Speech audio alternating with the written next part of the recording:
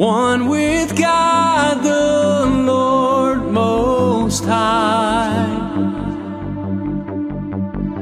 Your hidden glory in creation, and now revealed in you I Christ. What a beautiful name it is.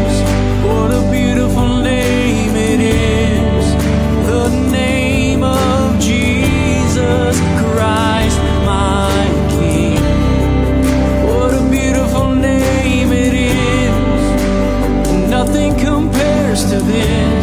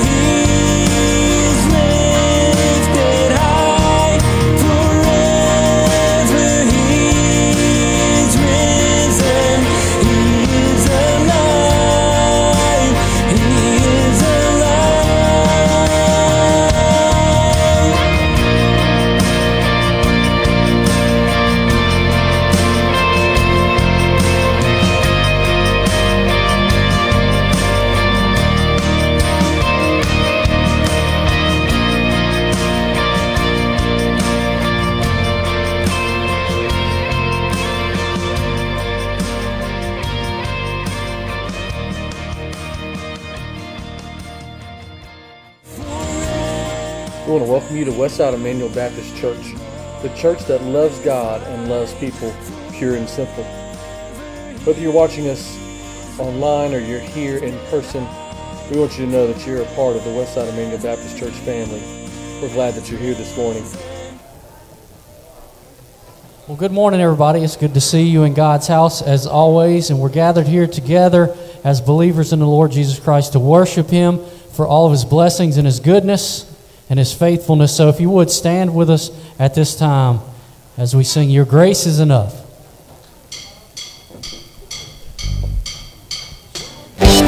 Grace is enough.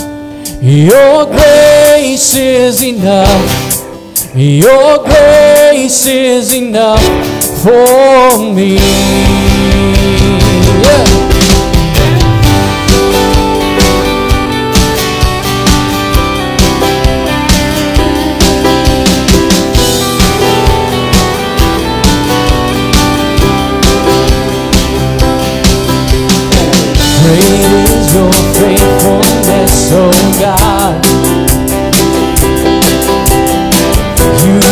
Wrestle with the sinner and restless heart.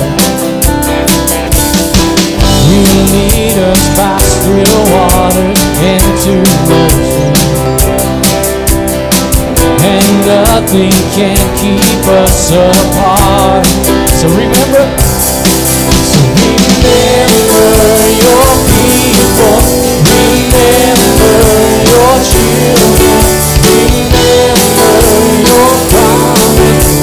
God. Come on, let's sing about His grace. Your grace is enough. Your grace is enough. Your grace is enough for me. Great is your love and justice, God of Jacob.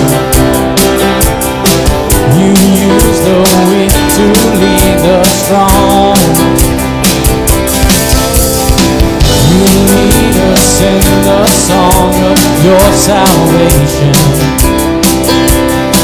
And all your people sing along. Come on. So remember your people, remember your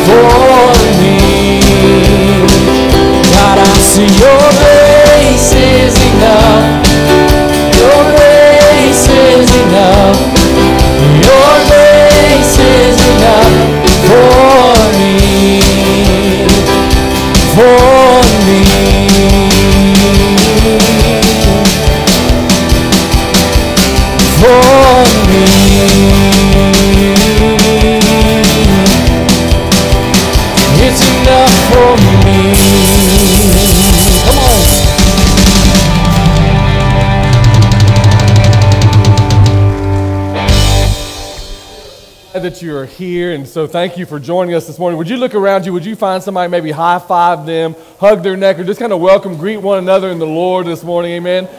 As you're doing that today, I want to say a huge word of, uh, of greeting to uh, Stephen and Denise and Amy and Keith and Sheila, Yvette, Janet as well, Melody and Andrea, all the way from uh, Gulf Shores, and Marie and Tambra. So we've got a lot of folks that are watching online. Thank y'all for joining us. Would you take a moment and be seated this morning? I have a couple of quick announcements before we take a moment to recognize our graduates. We are so thankful for them and who they are and their families that are here with us today. One of the things that you need to know is tonight we actually have a business meeting at 3:16 p.m. in the fellowship hall, and so I know that you're really excited about that. But that'll be tonight at 3:16, and so uh, so it's just a way for us as a church family to gather together to see what's going on behind the scenes of all that takes place here. And so we welcome you to uh, to join us in the fellowship hall today at 3:16. Next Sunday is going to be an awesome day, a great day. One of the things that we want you to know of is that we actually have a chicken dinner fundraiser, and one of the things that we're doing is that helps to send our little kids to camp.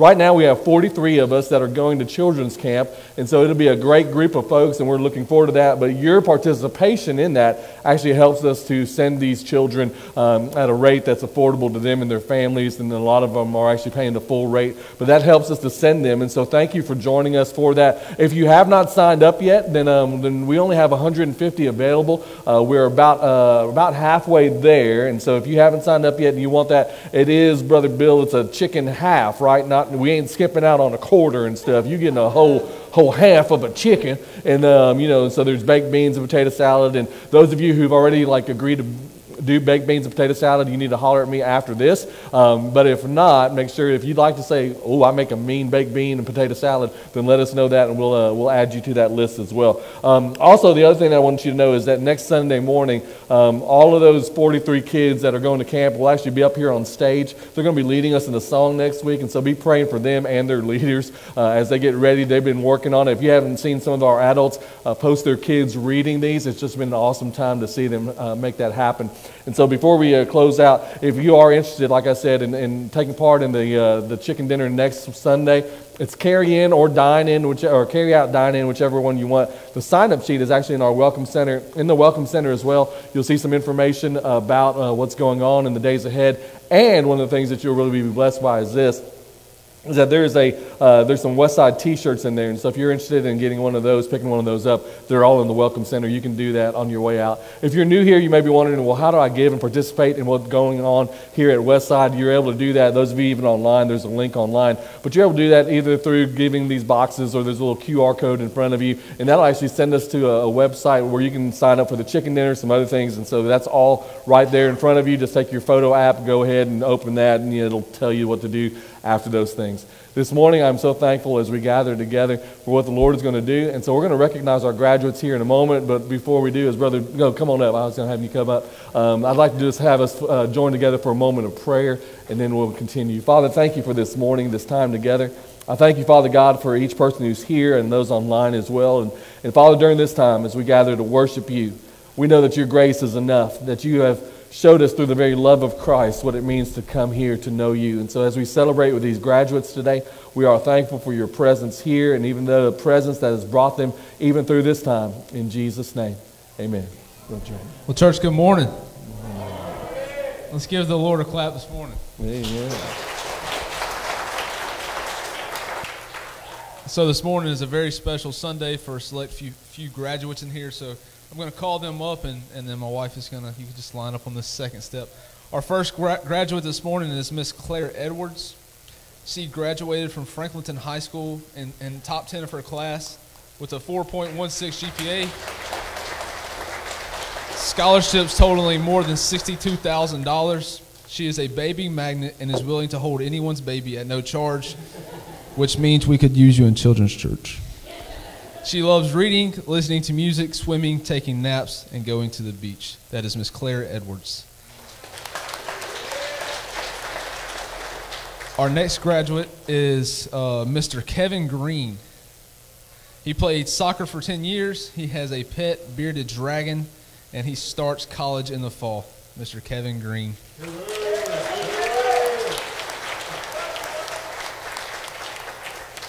Our next graduate is Miss Anna Martin. Her parents are Frank and Penny Martin, and she has five siblings. She has always had a passion for music since she was a little kid, and she is attending Leavell College in the fall in pursuit of a bachelor's degree in worship ministry. That's Miss Anna Martin. Our next graduate, the preacher's kid. She loves anything and everything from Taco Bell.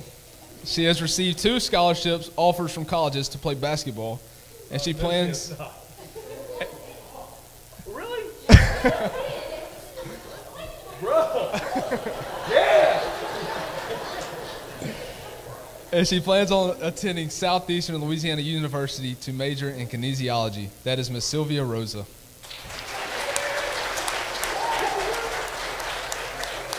Our last graduate is Miss Cameron Sill. She is going to college, but still to this point, she has no idea what she's going for. She loves going on vacation to visit local restaurants, but she is completely against fast food. And she is a natural mother to her family, her parents, and anyone else around her. That is Miss Cameron Seal.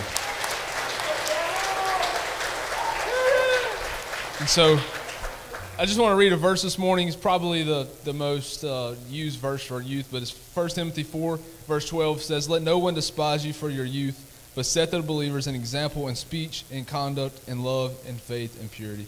And so, just the short few months I've had with these seniors, I, I've seen this in these in these guys. I've seen the love they have, just the pure hearts they have, and the faith they have. And so, I would ask this morning uh, that we could recognize Mr. Riley Passman, uh, Mr. Dalen McKenzie, and Mr. Caden Lewis. They were not able to make it this morning.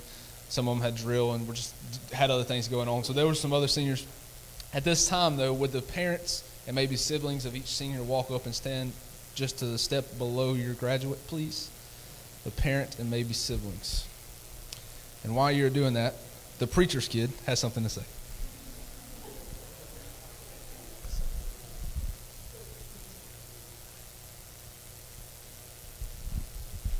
Okay, so Drake asked me to say something to all of the graduates, but of course, me being me, I had to wait until less than an hour before church to prepare it. But to my fellow gradu- graduates, we are about to embark on a new journey full of ups and downs and everything in between. We will face many new trials, but God already already knows what's in store for us. Jeremiah 29:11 says, "For I know the plans I have for you," declares the Lord, plans to prosper you and not harm you, plans to give you hope and a future. God has a plan for our life. We just have to be willing to trust Him through all of it. Don't allow college and future plans to distract us from what God has in store for your life. Keep yourself surrounded with people who uplift you and keep you drawn closer to God. And don't slow, don't let anyone steal your light. Let others see Christ in you, even when it's hard. This next chapter of our lives will be challenging and scary at times, but with God, all things are possible. Trust that God's plan is far greater than yours, and everything else will fall into place as it should.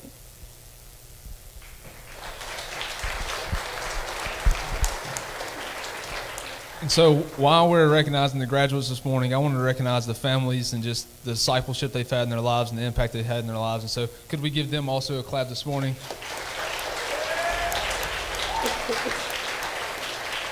And so I'm going to pray, and then when we're done, you guys can be seated. Father, I come to you this morning. Lord, I thank you for the families. I thank you for the graduates. Lord, I thank you for just giving me a short time in their lives to be able to disciple them and mentor them. Father, I pray as they go to college and they go to work or whatever it is that they're doing, Father, I pray that, Lord, that they would just live by 1 Timothy 4.12 and commit their lives to you and the Bibles as they were given this morning to, to use that every single day and, and follow the, the instruction manual for life. Father, we love you. In your holy name I pray. Amen. Amen. Well, amen. As they're being seated today, some of you may have recognized and realized the, uh, the last week um, we heard this young lady sing this song, and you know this song. But when we heard her and we heard the, uh, the passion and the love for Jesus that she began to sing this with, it was a really blessing. And so, um, so we asked her immediately to come and, and join in leading us today. And so I'm going to ask Khalees to stand right here by me, buddy, just right, right here. And as we join together, would you stand with us as we sing this song? You sing it to Jesus. This is your family. So we're going to sing it together this morning. Amen. Let's sing it together.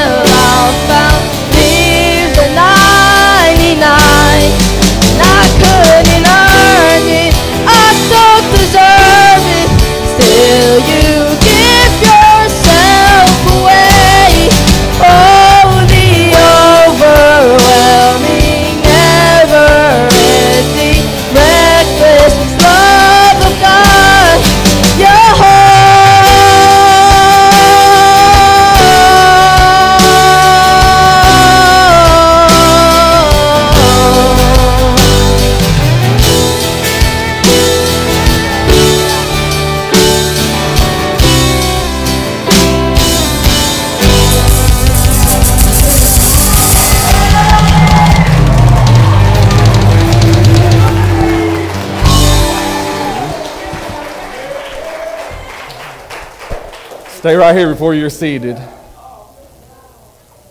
There's no what? Let's sing that part. There's no Shadow you won't light up, mountain you won't climb up, coming after me. Come on, sing that together now. There's no wall you won't kick down, lie you won't tear down, coming after me. There's no shadow you won't light up. No shadow you won't light up, mountain you won't climb up, coming after me. No walls that you won't kick down.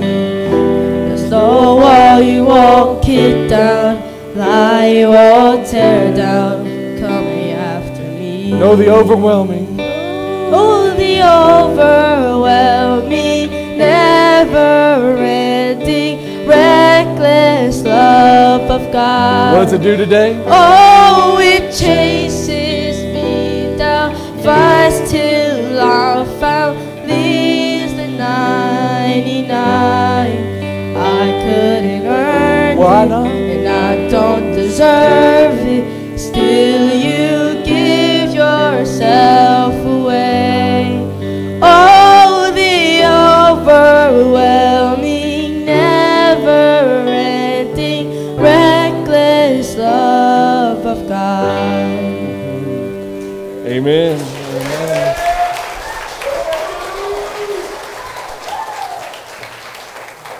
Oh, go ahead, be seated. Might as well just be seated in the house of the Lord. As you're seated, though, we're going to invite our little ones to be dismissed for children's church. Appreciate Lee and Kenzie helping us with that. And so, as those little ones are making their way out of here, as they're making their way out of here for children's church, listen, church family, you are teaching these little ones how to worship. On Wednesdays, I hope that they're learning how to worship so they can actually teach you as well. And so it has been a huge blessing as they make their way on out of here to, uh, to spend that time with the Lord. Hey, sweet London girl, good to see you, man. You know, as we, uh, we gather together um, for just a, just a moment, I want to, uh, to remind our graduates. And so, um, so thank you for that. Uh, up in the balcony, I know that some of y'all may need some, um, some tissues and stuff with, uh, with uh, Kalisa's family. If you listen for a moment to the, um, the rowdiness of that, uh, that youth group there, um, they, they are a family, and I really appreciate uh, the ministry of uh, not only Brother Whalen for the years that he's been here, but appreciate Brother Drake as well, because because they are establishing something in there that it is a God movement. And so we're just so thankful for what the Lord is continuing to do um, in the lives of our, our young people. This past week, as we, uh, we get ready to uh, celebrate all these graduations, even, even girls who are ballers, shot collars, you know, appreciate you telling your dad, like, you know, uh, I may have said, no, no, no, no, Southeastern, let's go, you know, I want to see you play some more. But the reality is, the blessing of that is, um, we have heard all these graduation speeches this past week. At Franklinton, they had this thing, and, and um, I don't know if any of y'all remember the, the Franklinton graduation speech. It was about Dora the Explorer, right? And so, I mean, it was like, it was legit. I know that changed your lives just listening to that. Uh, we had some other folks who were talking about like mountaintops and everything, and so I don't know how many mountains were mentioned in y'all's and said, I mean, there's a whole lot of different mountains that, you know, you're going to have to climb over and pass through, and ain't no mountain high, ain't no valley low ain't no river wide enough, baby. I mean, you know, a lot of things that they were learning even at their graduation. A lot of things going on.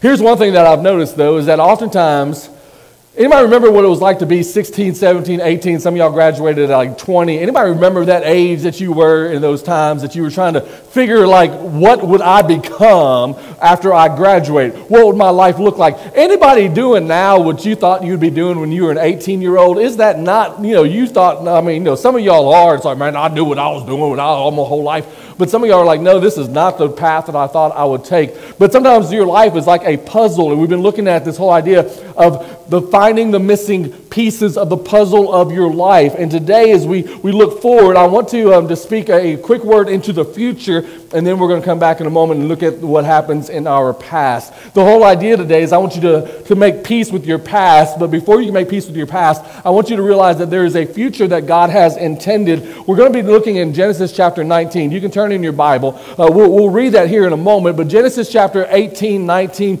there is graduates, and we got you two guys singing here in a moment. There is this whole idea of a man by the name of Abraham, and he had a nephew by the name of Lot. And Abraham is the father Abraham had many sons, and we sing this song even on Wednesday nights and stuff. You know, we try to go old school sometimes, and so, you know, had many sons, and let's all praise the Lord, right arm, left arm, right foot, left foot, you know, and then turn around, sit down. We, we do that whole, whole deal. But one of the things that we've learned about is Abraham was a man of faith. He had a nephew by the name of Lot. He, he, he loved him a lot. And so, um, okay. All right, never mind. But, but uh, you, will get that later on. That was a really funny joke. Dad joke number one on the pages for this morning. But his nephew had a decision. They were both doing really good for themselves but they were, they were farmer kind of guys and they, they were taking up too much of the land, so they had to split company. They had a decision to make which way do we go, and Lot actually chose the better portion, even though he really should have given that choice to his uncle. And so what ends up happening is that Lot goes and he, he did this. He pitched his tents. He, he, they lived in tents. They were nomadic kind of people. Right there in this place called Sodom. You've heard of Sodom, Sodom and Gomorrah, that whole study and, and story of, of what's going on there. But he stayed right there. That one decision to live there in that place, in that area where Sodom and Gomorrah, it changed his entire future. One decision changed his entire future. Teenagers, those of you who are graduating, those of you who are like stepping out on whatever your future is about to hold, you need to realize that sometimes one decision can determine all of your future. Anybody here like still paying the repercussions or the benefits of a decision that you made and now it is still lingering and lasting? Well, all of a sudden, because Lot decided to get real, real close to this place called Sodom, he ended up not only getting close to there, but over time, he got a little bit more comfortable with this wicked place. He got a little bit more comfortable, and he actually became one of the leaders at the city gates. Here's what we want to realize, though, today we realize today that sometimes we can't get over the decisions that we have made in the past. And so I want to help us today. As we are finding the missing piece, how do we find the missing piece to making peace with our past? Because some of you came in this morning and you are dealing with some of the things that have gone on in your past, the decisions, the good, the bad, and the ugly of your life. And so sometimes we cannot make peace with our past, except for one way. There is a God who stands with us in the middle of the fire, the trials, and the tribulations of our lives. And so today, what I want to encourage you to do is as you hear Anna and Sylvia sing, that in the middle of our lives, and would y'all just make your way there, in the middle of our lives, we have to realize that God stands with us, moves with us in the middle of the fires and the trials that we go through. And so, would you take just a moment to, uh, to hear this song as we celebrate today?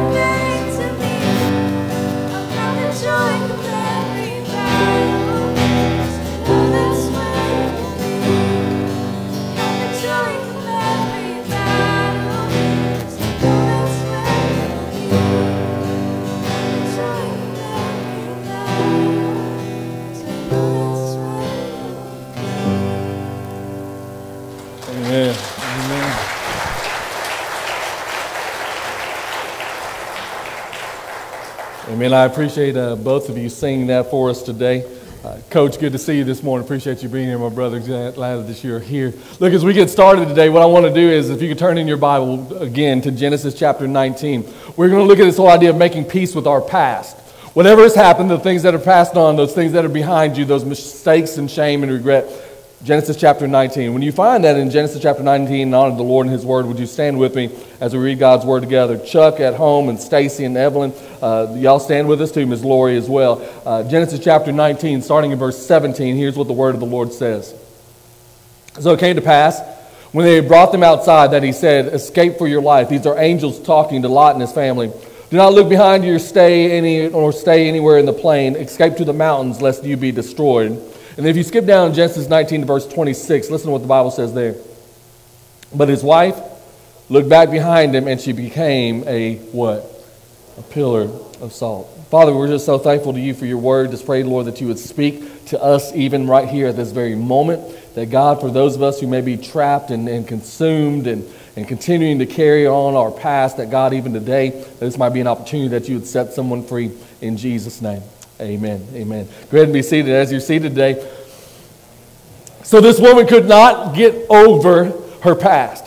She could get, not get over the things that were going on in her life. She could not get over all of those situations and circumstances that she had uh, held on to. She could not move forward. She was stuck in her past, in her pain, in her shame, in her regret. She just could not move forward. She could have had life. She could have had God's blessing. She could have walked forward, but because she turned around and looked back, it meant that she could never go forward again. She could not get over her past. She could not make peace with her past.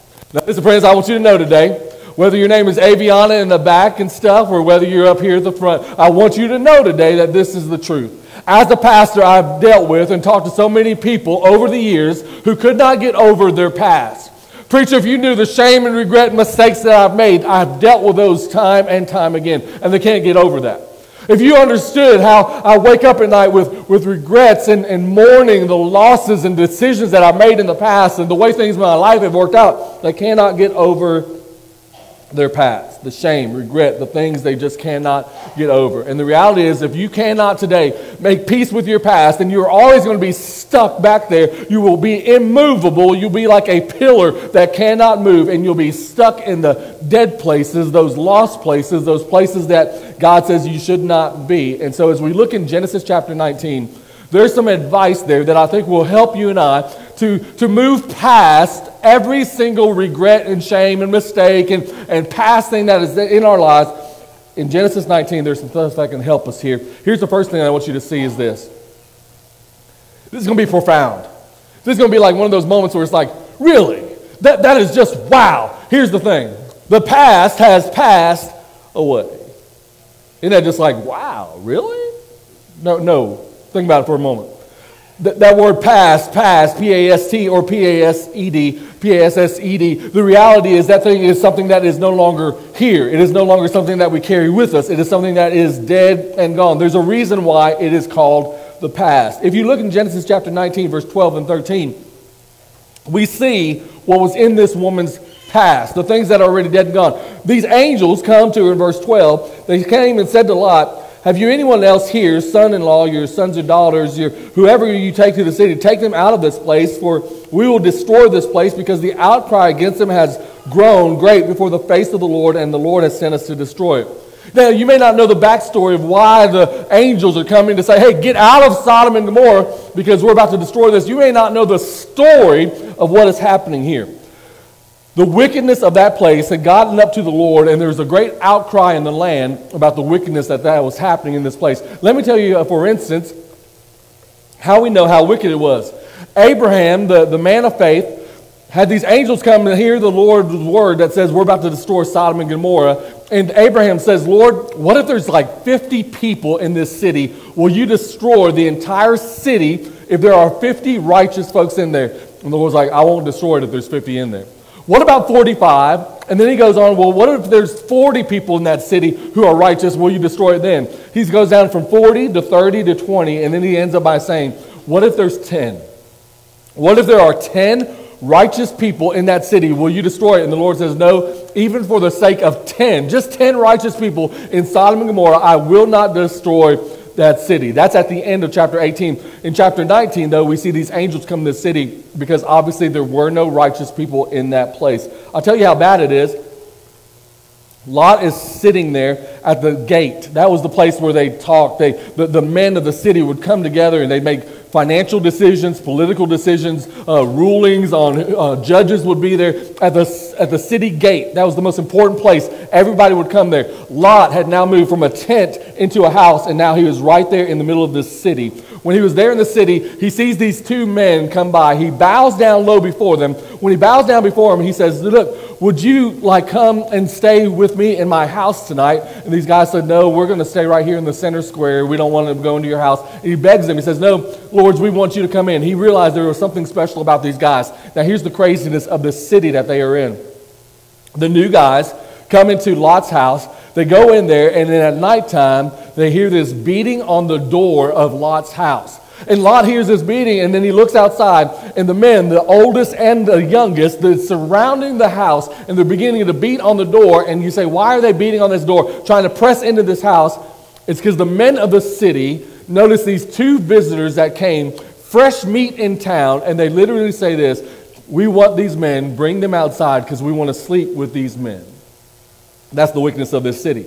And so all of a sudden, Lot comes out. He, he comes and he slams the door behind him and he says, Guys, look, you know, what are you here for? What's going on? They tell him the reason. And he says, Look, I'm going to make a bargain with you. You can tell the, the depravity of even Lot's mind at this time. He says, Look, I have two daughters. They've never been with a man. I'll give you them to you. You can do with them whatever you wish, but leave these guys alone. These guys said, No, that's not what's going to happen. We're going to come and we're going to take these men. You know, who are you, the judge, to judge us for anything that we're going to do? And so they come and they try to get him. And all of a sudden, the angels come, they open the door, they drag him back inside, and they blind everyone that's on the outside.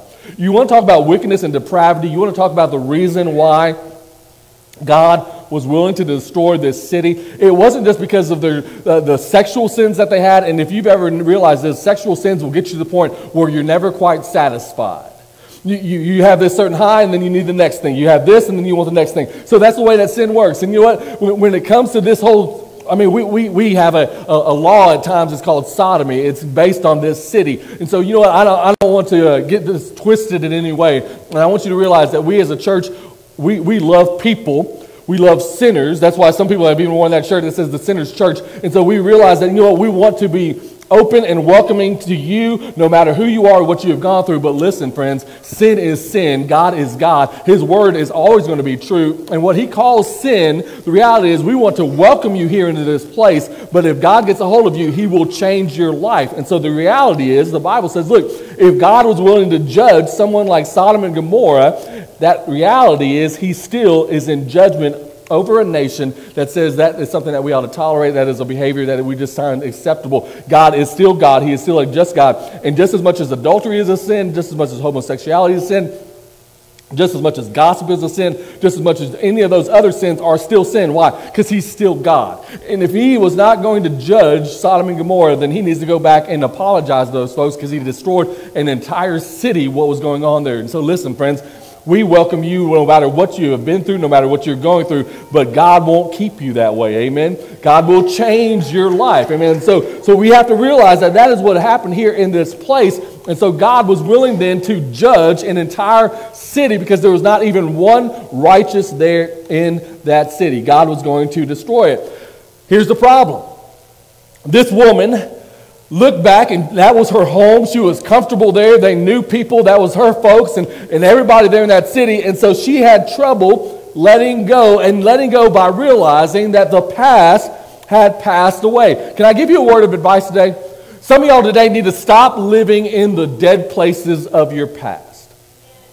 Stop living in the dead places that the Lord is going to destroy. You see, some of us are holding on to things in our past, and we're holding on to those things. The Lord says, hey, that thing is dead and gone. That thing is past. The way that you used to live your life, the way that you used to act, the way that you used to do things, that stuff ought to be in your life dead and gone. It ought to be no longer be a, a part of who you are. Sinful ways, old relationships, those things that you've held on to, the shame and regret. The Lord says, hey, it's time to get out of those past dead places. There's a reason why the past, it's called the past, and it ought to, it I'll just go ahead and, and die there in that place. Why, why are you and I still wanting to live in dead places? Can I ask you that? Why, why are we wanting to live in dead places? Now, now listen, there are some folks here at this church, and you may be new here, and those of you watching online, there are folks here at this church who tried to get me into a tent and go camping. Now, I don't know about you, but that ain't, that ain't, that ain't my flavor. All right, so I don't want to go out where there's snakes and bugs and you got to zip yourself up and stuff. I don't, Colby, that's just like you, you're a good tent camper kind of guy. I don't know if I could do that and stuff. And so, especially one of the places that, you know, we went out to the church yard. That's the last time I went tent camping in the backyard of the church. I put a table in front of where the head of the bed was, where we stayed in there and stuff. And I put a table there because in case somebody wanted to come and slash me, they had to go through the table first. Had my gun with me and everything and stuff, you know. What ends up happening though is in the middle of this tent camping experience, I have this table by our head in order for us to, you know, you got to come through the table to get to my, my head and all. But the cat didn't know that that's what the assignment was for that table. So the cat jumps up on the table, he jumps up on top of the tent, and I'm like in the middle of the night kicking and screaming trying to get this cat that I thought was trying to kill me, get it off of me. I'm not about that. I'm not only not going to go camping in the, the, the, the church backyard, I definitely am not going camping in any cemeteries. You see, the reality is, I don't need to be in there. I don't, you know, I know there's dead people there and stuff, but I don't need to go even. I don't. I'm not pitching a tent right there in this cemetery. Why? Because there's dead folks and there's things that can happen, and I don't need to be in there. And it's always people that are like my color that get killed first, and so I'm not doing that in the movies. You know, I'm not. I'm not playing in that direction. Why then? Why then do we say, you know what, I'm not going to pitch my tent inside of a cemetery? But y'all do that every single day when you want to live in the past. When you want to go and stay there. You want to live in that dead place. You want to stay in that regret and shame and things that the Lord said, that, that thing is dead and gone. It is passed by you. Stop living on that. Stop harboring all those resentments. Stop living in that anger and frustration of your past. The Lord says, look, if you are staying in that cemetery, it is time to get out of the dead places of your life. You see, this woman could not get past that. She knew that the Lord said, I'm going to destroy that. I'm getting rid of that. That is something that is no longer in your life. But she could not let go of that past place, that, that dead place in your life. I've been to many funerals, many cemeteries, many times of just gathering together. And one of the things that is oftentimes on a headstone, it says these words Rest in peace. Let the past rest there. Let it stay there. Don't resurrect all those dead things that no longer need to be a part of your life. And so here the Bible says, you know what? The first thing that you have to realize is the past is dead and gone. It is meant to pass away. And so if you keep on living in those past dead places, don't be surprised when you get stuck in that place as a pillar of salt because you can't let those things go. Here's another thing that we learned though from this, this lady and this family. The reason why it's hard to put past the rest sometimes is because look what it says Lot lingered there far too long. I don't know if you saw that in this part of the story, but Genesis 19, verse 15 says it this way. When the morning dawned, the angels, they, they urged Lot to hurry. All right, that's what it says in verse 15. You get this picture. It's about to happen. They're urging him. There's an expediency about this thing, and they're urging him to, to come and, and get out of there. They're urging him, and the morning dawned. they're hurried to say, Arise, take your wife and your two daughters who are here, lest you be consumed in the punishment of the city. And so the angels are going to, to Lot and saying, hey, hey, hey, hey, hey, it's about that time. Hey, hey, judgment is coming. Hey, it's about that time. You better listen to me. Hey, hey, this is about to happen. And so you better, you better check your watch. And the time is, is coming close. And I'm about to judge this place. And during all of that judgment that was happening and bound to happen, look what the response is of that man. He says in verse 16, and while he lingered, the men took hold of his hand, his wife's hand, and the two of his daughters, the Lord being merciful to them, and brought him out and set him outside of the city. Ooh, Lot loved him some of that place that he was living in. He loved those past dead places. He, he knew folks there. It was comfortable there. That was a place that he just said, like, you know what, I belong. And so all of a sudden, the judgment of God is about to fall, and what does he do? He just kind of lingers. You ever been caught lingering somewhere? Anybody know what that word linger means? Oh, I ought to get out of here and stuff, but it's about to get to popping, and so I ain't about to go home now. I got to see what's going on. I, I linger. Oh, she gave me that look and stuff, and I know what that look means. And you know what? This might be a good time to kind of put my hair back in a little bit and stuff. And this is I, I need to I need to linger here. Ooh, if I make this the business decision right here, I know I could, you know, I could, I could. It might get me in trouble, but I could. I just need to, to linger. And I imagine that some of us have gotten in more trouble lingering in our life than we care to admit. Because this is what this man did. Instead of leaving, instead of rushing, instead of leaving that place right away, the Bible says that he just kind of lingered in the middle of those times. We, we linger a lot in past places. You say, what does that mean? Oh, you ought to have forgiveness in your heart over that thing that happened to you a long time ago, but you like to kind of linger right there. I ain't letting that go. I'm not about to let them off the hook. And so what do we do? We linger in that dead place. Oh, I, I know that this is a sin and God doesn't want me to do this and it's, it's, having a, it's wreaking havoc on my life, but I'm, I'm going to linger here a little bit longer. Oh, I know that in my life and, and, and all the things that are going on, I just want to linger here. Some of y'all have gotten in more trouble in your life because of the fact that you've just lingered in that place where the Lord says no longer should you be there. And if you notice what happened, the Lord literally, physically had to take those angels, grab a hold of this family, and snatch them out and take them outside. Did you see that? Did you see what it says there in the Bible? That verse 16? While they lingered, the men took hold of his hand and grabbed a hold of him. I, I, wonder how many times God has grabbed a hold of you and took you out of places that you wanted to linger in too long. I mean, you know, you, some of you should have been in jail by now, but, but God grabbed you out in just the nick of time. Some of y'all should have uh, been pregnant, or you should have gotten somebody pregnant. Some of y'all should have had this happen. You should have been in, uh, uh, you know, wherever that, I mean, all of those things that should have happened in your life because of the results and the actions that you did, and yet God was very merciful to you. Anybody know what it's like when God snatched you out of some places? Anybody ever been snatched out? Maybe it's just me. You don't have to say amen to that because some of y'all little perfect Christians and stuff who've never gone through things in your life. I know that God has never had to snatch you out of any places. But some of y'all sinners up in here, y'all know exactly what I'm talking about. Where if God had not snatched me up out of that place, if God had not rescued me, if God did not set me free, if God did not kick me out when I should have been there a little bit longer, but one more moment, if I would have stayed, my whole life would have been destroyed. But God snatched me up. I, I am thankful for God snatching at times times. Amen. Anybody know what I'm talking about? I mean, just as much as you snatch somebody's weave out their head, God will snatch you up out of places that He needs to get rid of you. And so here the Bible says that He had been snatched up out of that place, that place that He was so comfortable in. What's the Lord going to have to do to snatch some of y'all up? See, I have a feeling that some of y'all have been feeling this little tugging in your life and in your heart. Some of y'all have been, been in places that you knew, oh, I shouldn't be here. I'm lingering just too long. And God's been pulling and and kind of swaying, and the conviction of the Holy Spirit has been knocking at your heart and saying, hey, that's not a place for you. That's a dead place. You need to get out of there. That's not, you don't belong here anymore. This is not home. This is not where God's promises and God's protection and God's provision is. And you linger, and, and finally, God is like, hey, hey, I'm, I'm, I'm pulling you. I'm moving you out. I'm, I'm getting you out of this place. And so, the reason why sometimes it's hard for us to move past our past it's because we like lingering a little bit too long. Here's the last thing, and I'll close with this. The reason why we need to put the past to rest, no matter what, is this we'll never have a future by living in the past. You cannot move on.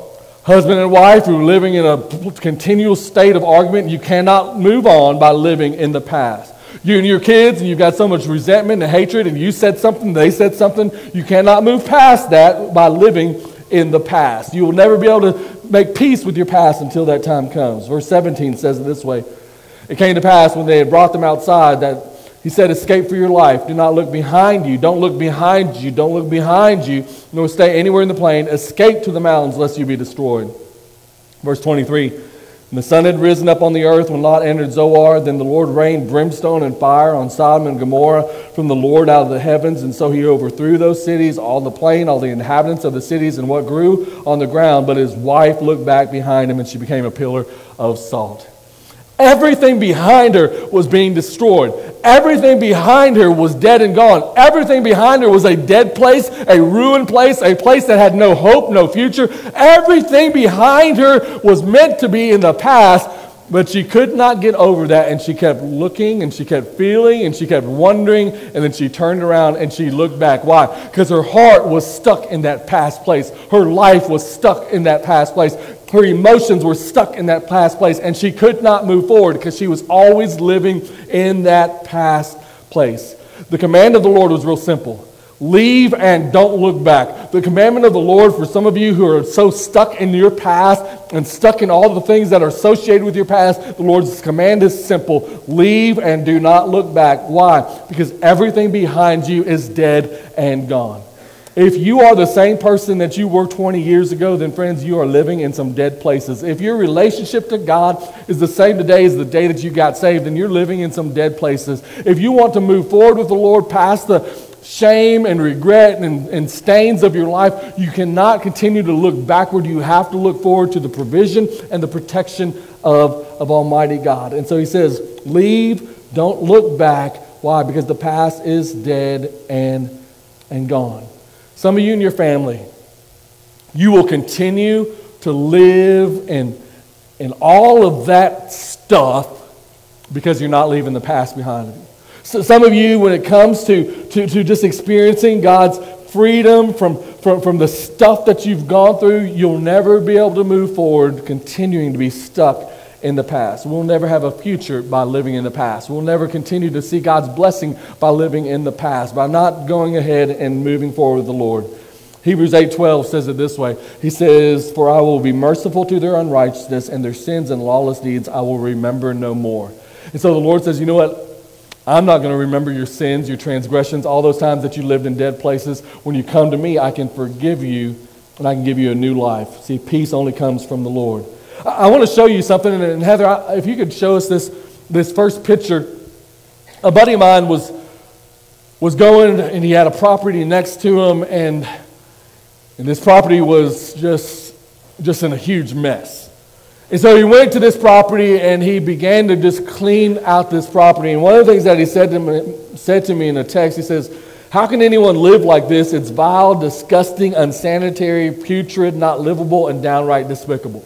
And you can kind of see on this picture of just all the trash and garbage that is actually at this person's house. And they're cleaning out not only the outside, but the inside is just about the same way. And so these are folks who are living like that. And so in the middle of him just looking and saying, How can somebody live like that? How can this ever happen? How can all this trash get piled up? All the stuff from the past, all this used up stuff, all this old stuff, how can it just like litter the ground everywhere?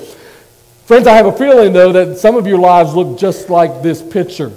You see, for some of you, you've got more junk and more trash from your past and more stuff that you're not, not willing to, to let go of and throw away, and you're holding this huge amount of just piled up stuff that you just can't let go. It's always in your life. You're having a conversation with somebody, it always comes back. You're just trying to move on, and it just always haunts you in the back of your mind. You're living like this, this pile of trash in your relationships. We can't ever have a clean start. We're always fighting and fussing and dealing with stuff because we always have all this piled up stuff. But in the middle of him cleaning out some of this trash in, in his neighbor's yard, he comes across this picture, and you may be able to see it.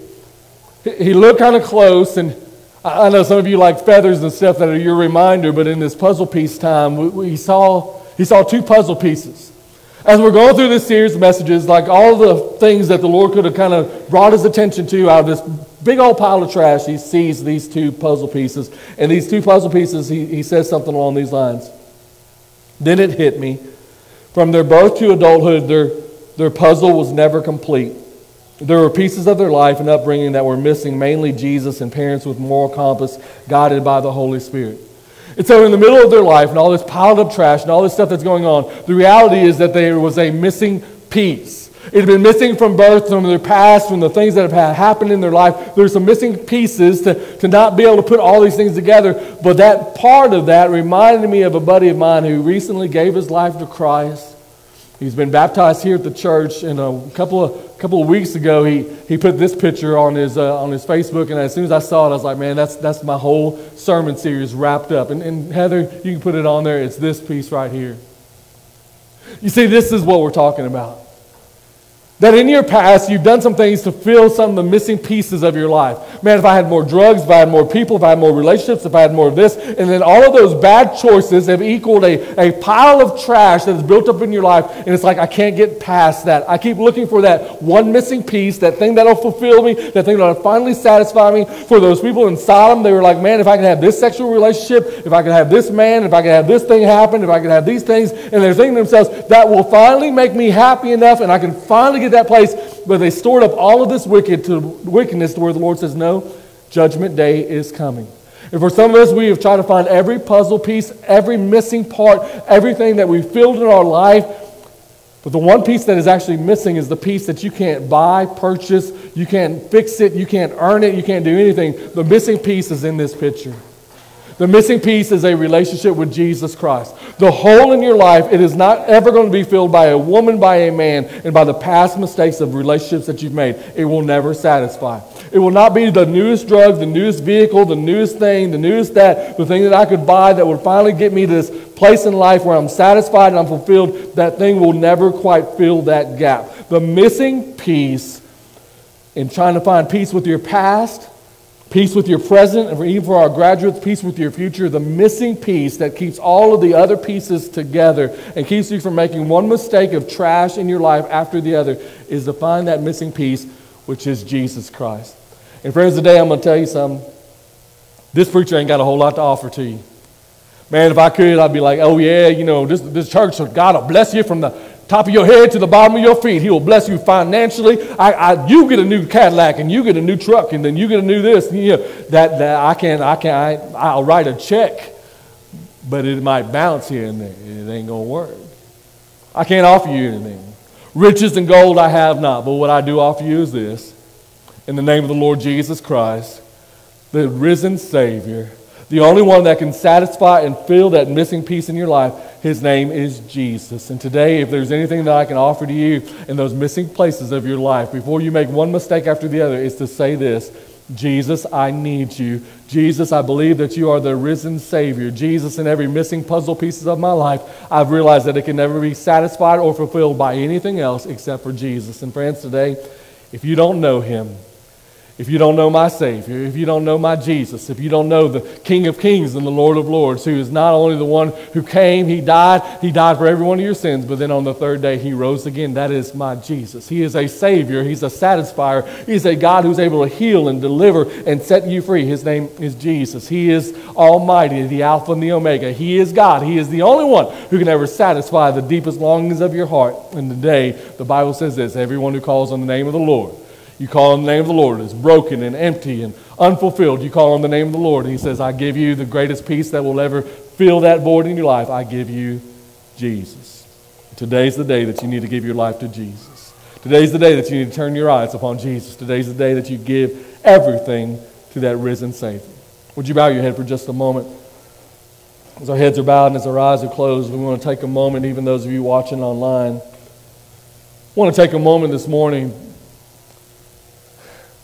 I wonder which picture you are today. Maybe it's that picture of all of that pile of trash, and it's like, how, how am I living like this, and how can I ever get this out of my life? And it seems like there's a missing puzzle piece. Maybe today is the day that you just simply say, Lord, I believe that I need Jesus. I believe that, that He's the only missing piece in my life that will ever satisfy me. And Lord, today I believe that He died and He rose again on the third day to give me eternal life. Today I put my faith and trust in Him. Whether you are in the balcony today or on the front row, some of you just today will be the day that you need to say, I give my life to Jesus right now. In fact, while nobody else is looking around, and for a moment, even those of you watching online, you can do this as well. While no one's looking, and this is just between you and I and a relationship with Jesus, and I just want to talk to you while nobody else is looking.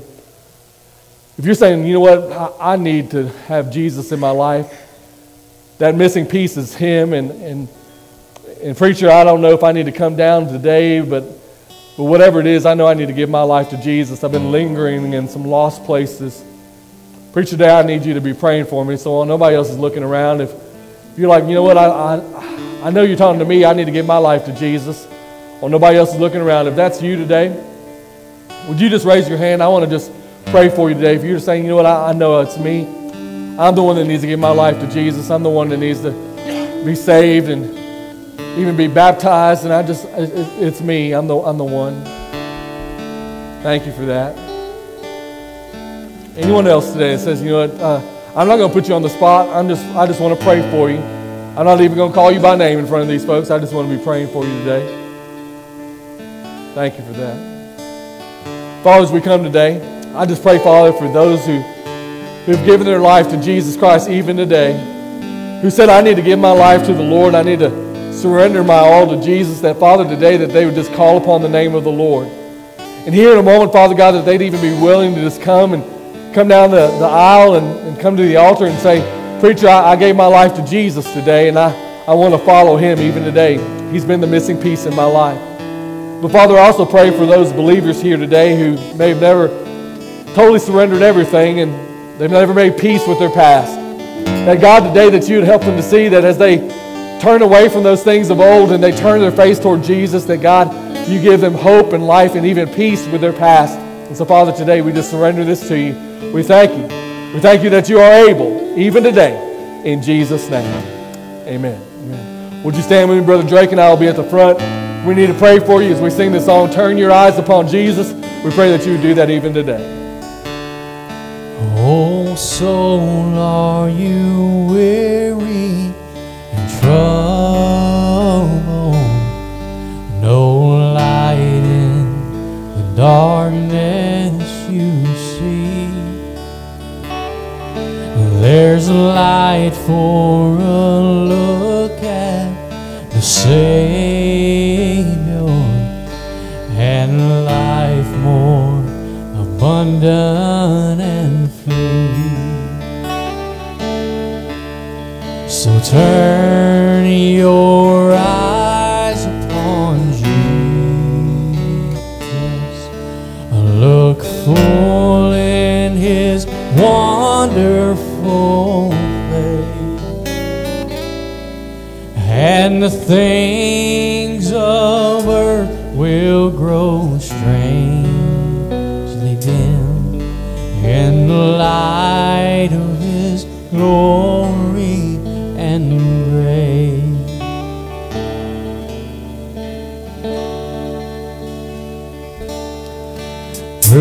death into life everlasting,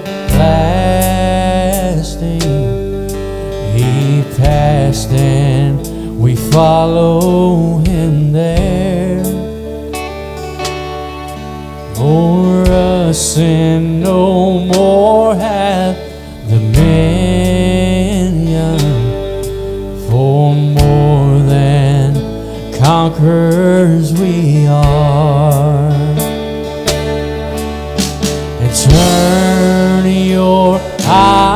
eyes upon Jesus.